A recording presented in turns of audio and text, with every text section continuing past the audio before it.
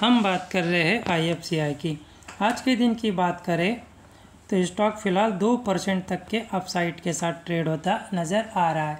हम देख सकते हैं इस वक्त स्टॉक जो है fifty seven point eighty five पैसे पर फ़िलहाल हमको ट्रेड होता नज़र आ रहा है। जब स्टॉक ऊपर की ओर सस्टेन हो रहा था, आपको याद होगा कि हमने कहा था कि अगर बड़ी गिरावट आती भी है तो 4850 का जो लेवल है, तगड़े और इम्पोर्टेंट सपोर्ट का रोल प्ले करेगा। ऐसा हमने डिस्कस किया था।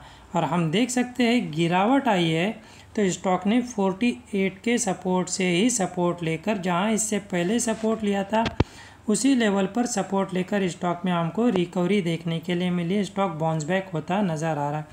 यहाँ से आप आई एफ़ लगातार तेज़ी बताता नज़र आ रहा है। अपने इस हाई के ब्रेकआउट के चांस अब इसमें बनते नज़र आ रहे हैं।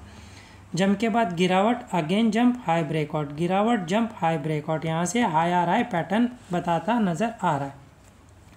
नीचे की ओर 56 का लेवल इमीडिएट सपोर्ट का काम करेगा।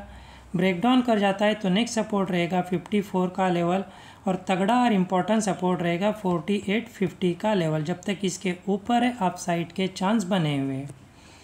अब यहाँ से टारगेट को डिस्कस करें। तो देख सकते हैं स्टॉक रिजेक्शन कहाँ फेस कर रहा था, कहाँ सपोर्ट लिया था 60 के लेवल पर। तो ये अपना पहला टारगेट रहेगा इमीडिएट टारगेट रहेगा 60 का लेवल अगर इस लेवल को ब्रेकआउट कर जाता है, फिर जो नेक्स्ट रेजिस्टेंस फेस करेगा नेक्स्ट टारगेट दिखाएगा, जहाँ इससे पहले स्टॉक ने रिजेक्शन लिया था 64 का लेवल 60 के ब्रेकआउट के बाद अगला टारगेट 64 और इसको ब्रेकआउट कर गया आई तो फिर 70 से लेके 74 तक के टारगेट हमको दिखा सकता है। यहाँ तक का जंप स्टॉक में हमको देखने के लिए मिल सकता है। वीडियो एजुकेशन पर्पज़ के लिए कोई बाय सेल या होल्ड की सलाह नहीं है। अगर आप डिमेट अकाउंट ओपन करना चाहते हो तो डिस्क्रिप्शन में दी गई लिंक से कर सकते हो।